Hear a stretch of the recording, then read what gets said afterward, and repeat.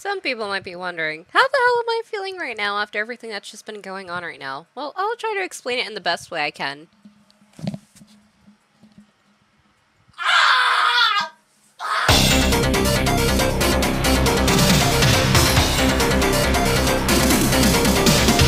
Thirty-two bit, sixteen bit, eight bit, four bit.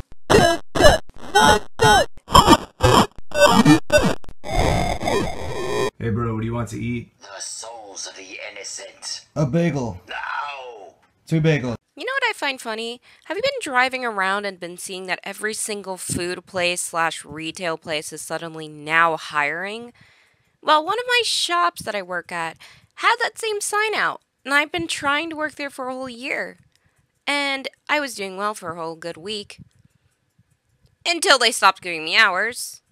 But you know, they still have that now hiring sign. So what kind of bullshit is that that you don't give any hours? Like, how are you still hiring if you don't give any hours?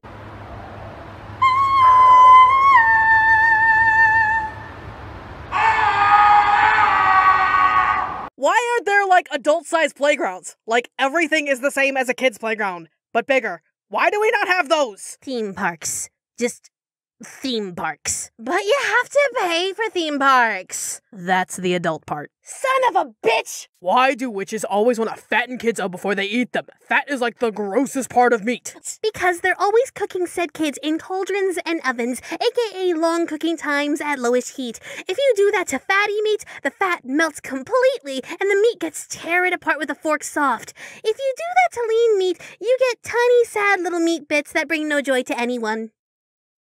Well, you did ask. You are arguing over the semantics of eating children! Why don't you ever try to put the effort into socializing? You always complain about being lonely.